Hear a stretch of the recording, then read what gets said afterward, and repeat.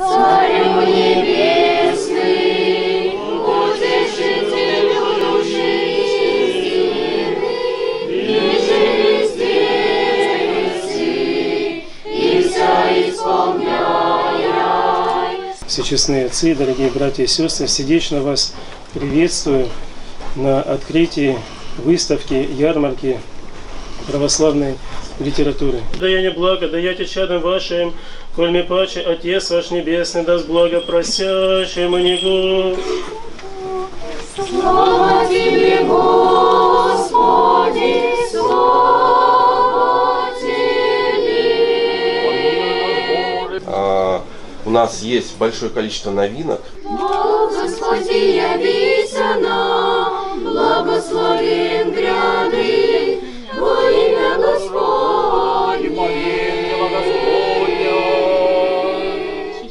Дай Бог каждому найти душеполезную книгу, которая доставит им удовольствие и будет на пользу души.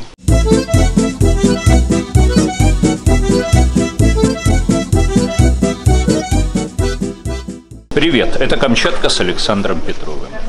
Сегодня в Краевой научной библиотеке имени Степана Крашенинникова открылась ежегодная выставка «Ярмарка православной литературы. Книги, которые меняют жизнь». Вот, эта выставка-ярмарка видна за моей спиною. И представлена на ней не только святоотеческая, не только богословская литература, но также и литература художественная, красная нить которой – это состояние души православного христианина.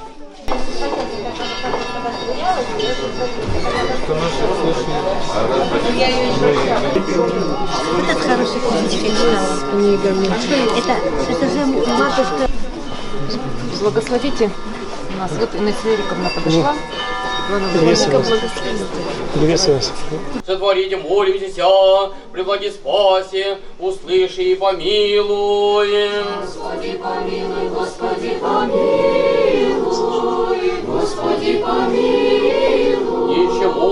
Благослови, высокопреосвященнейший Владыко. Бог наш, всегда, ныне и присно, во веки веков. Слава тебе, Боже наш, слава тебе. Небесный,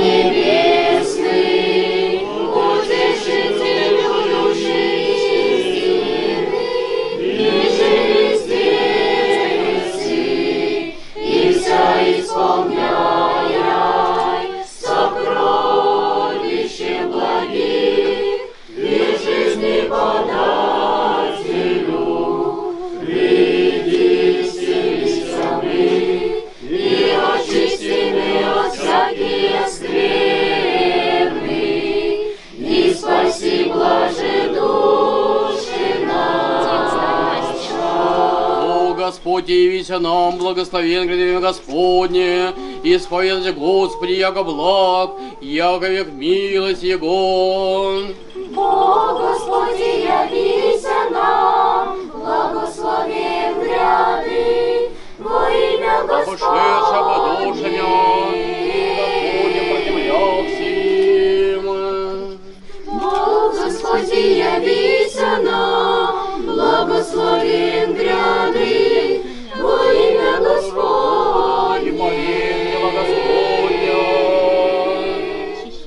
честные отцы, дорогие братья и сестры, сердечно вас приветствую на открытии выставки, ярмарки православной литературы.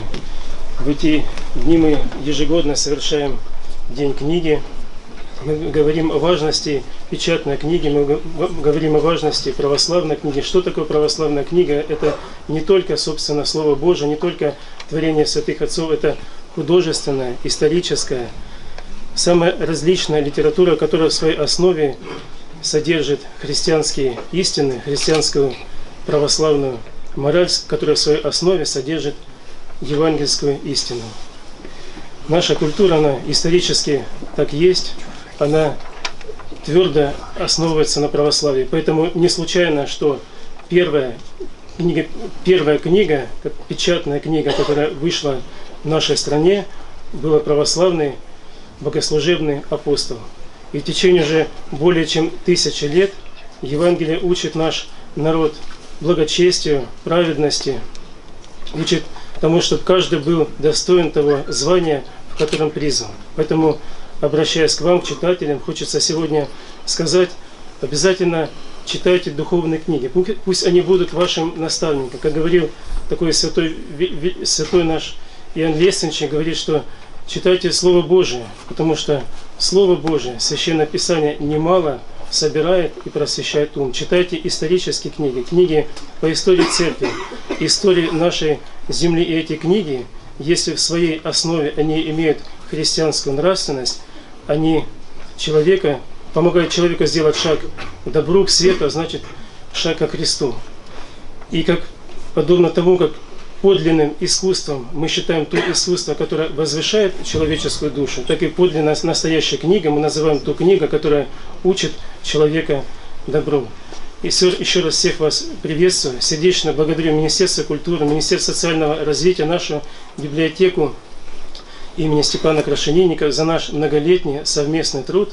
А сегодня у нас необычная выставка, она посвящена просветителю Камчатской земли, митрополиту Нестору. Дай Бог каждому найти душеполезную книгу, которая доставит им удовольствие и будет на пользу души. О, Господи, явися нам, благословен гряды, во имя Господне. Ты тихо и безмолвно ждие поживем, во всяком благочестии и чистоте. Господи, помилуй, Господи, помилуй,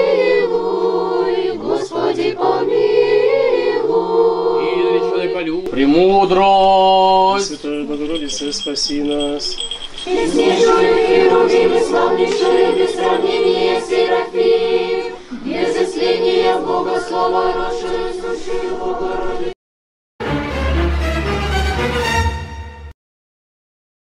Я рада поприветствовать вас сегодня и в первую очередь поблагодарить за приглашение для участия в открытии выставки. Хочу всех поздравить с праздником. Это поистине праздник, праздник торжества, я бы сказала, книги, православной книги. Вы знаете, а, меня вообще радуют события, мероприятия, которые становятся традиционными. И обратите внимание, не все, э, ну не все праздники, наверное, не все мероприятия действительно становятся традиционными, а только, наверное, те становятся традицией, которые действительно лежат глубоко в нашей душе и в нашем сердце. Почему я люблю бывать э, всегда на неделе, на православной неделе, в день открытия э, православной книги, потому что я всегда нахожу для себя и в первую очередь для своих детей нужную литературу и нужную книгу. И в этот раз тоже мы э, с отцом прошли, попросила, чтобы мне показали новинки. Мы познакомились с новинками, с новыми новинками. И вот я нашла опять для себя и в первую очередь для своих деток нужные книги. Хочу сказать, что а, мне нравится язык, вот этот правильный, красивый язык, вот это настоящая литература. Дети, читайте правильные книги. И действительно, не случайно сказано «золото в земле, а знания в книге». Жаль, что.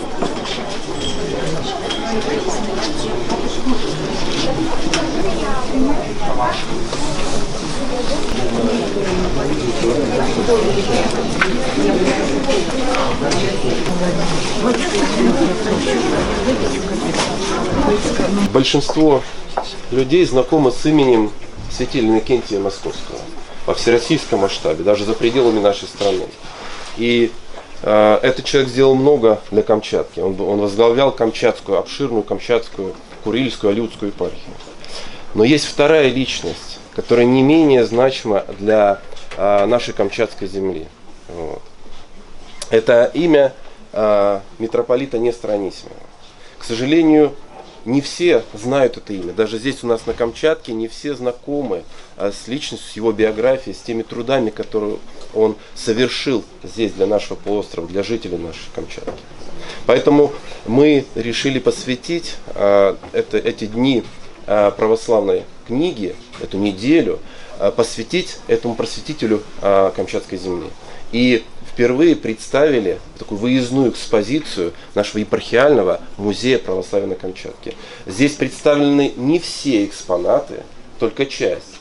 А, Кому, кого заинтересует да, наша экспозиция или продолжение да, э, рассказа, могут э, уже прийти к нам в музей, в епархиальное управление, в собор Святой Женичания Троицы. А, Итак, святитель, э, митрополит э, Нестор Анисимов. Родился в Вятке, э, в семье э, военного чиновника. Э, Мама была глубоко верующая, он рос верующим человеком, ребенком, ходил, посещал храм. И первым таким переломным моментом его жизни была встреча с другим святым человеком, святым праведным Иоанном Кронштадтским, который пребывал, находился с поездкой, с посещением в городе Вятка. И в этот период мама э, будущего митрополита Нестора была тяжело больна, практически была при смерти. И э, тогда мальчик э, Николай, будущий да, отец Нестор, э, он встретился, добился аудиенции у этого будущего святого вот, и пригласил к себе домой. Э, Святой Иоанн помолился, служил молебен, после чего мама выздоровела, исцелилась. Вот. Это был такой переломный момент, это было знакомство э, с Иоанном Кронштадтским. Именно этот святой впоследствии благословил э, Николая, будущего отца, владыку Нестора, на свое миссионерское поприще, свой миссионерский подвиг на Камчатской земле. Э, Ермонах Нестор прибывает на Камчатку в 1907 году. Начинает совершать путешествия, поездки по полуострову. И он видит, в каких тяжелых условиях приходится жить человеку. И местному населению, коренному населению, и русскому населению. Всем живется не сладко. А, Одно событие на реке Гижиге, а, когда разлилась река и смыла все поселения. А, Вот это запало ему, настолько запало в его душу, что он принимает для себя решение, что Камчатке необходима всероссийская помощь, что для Камчатки нужно создавать а, организацию, братство, благотворительное братство во всероссийском масштабе. И с этой идеей он обращается сейчас к своему правящему архиерею, вот, а уже правящий архиерей направляет его в Святейший Синод в Москву, в Петербург, простите. Вот. А, Так уж получается, что его не принимают. А, Его эта идея не находит поддержку в Синоде. А, Тогда будущий, э, будущий митрополит Нестор, будущий миссионер, начинает собирать людей и рассказывать о том, чем живет Камчатка, как- в какой нужде находятся здесь люди. Вот. Он приводит с собой фотографии, ну, был слайдоскоп, он показывает, рассказывает. И эти лекции, эти встречи в Петербурге а, вызвали такую широкую волну, да, что э, эта информация дошла до э, Столыпина, премьер-министра. И именно благодаря ему состоялась встреча отца Нестора с императором Николаем II. Император Николай II выслушал, поддержал эту идею создания братства и более того, как бы назначил покровителем этого братства своего малолетнего сына царевича Алексея.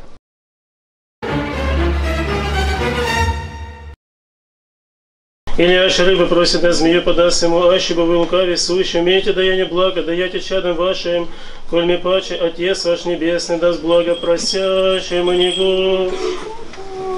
Слава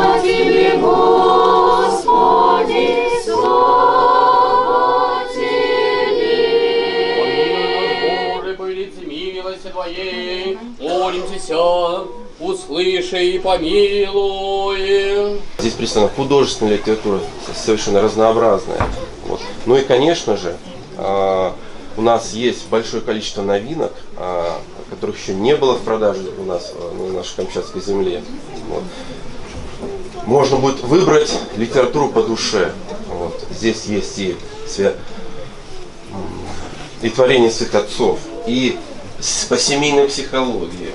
Ну, мне кажется, на любой вкус. Затем начинается Первая мировая война. И Романов Нестор э, в 2014 году, оказавшись по делам братства в Москве, создает э, санитарный летучий отряд. Не- Нет, не под наклончиком, вот так, вот так. Я так не умею, я умею То есть вот так, а, понимаешь? и, и, Вот эта буква как будто бы Ш, это О. А нет Стеняева? Ничего.